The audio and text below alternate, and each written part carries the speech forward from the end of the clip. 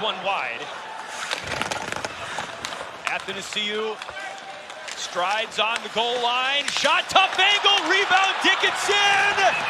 Hawks think they scored, they do not. There's the puck. Look out. Tensions bubbling over here.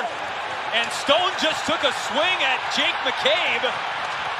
They've dropped the gloves, and McCabe is wailing on Stone right now.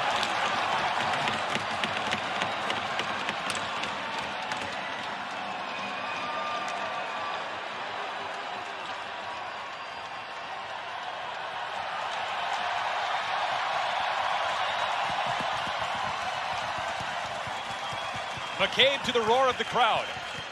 They'll take a look at this to see whether the puck entered the net legally or not. No call on the ice as far as a goal.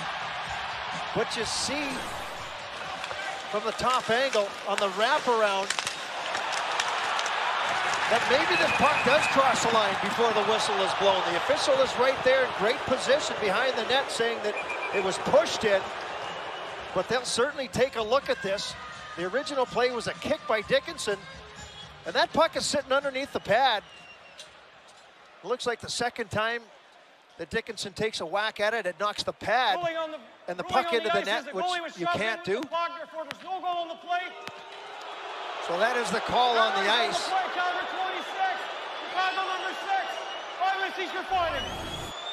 Stone and McCabe, five minutes each for fighting.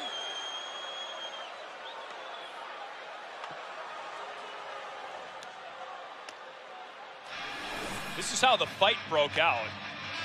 McCabe not interested in really anything, it looked like, but Stone was starting to pick on him, and McCabe stood up for himself.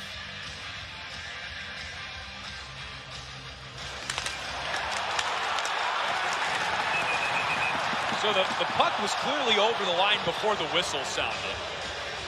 But the puck was underneath the pad and Dickinson hit the pad with his second attempt and pushed the puck and the pad past the goal line. Can't do that.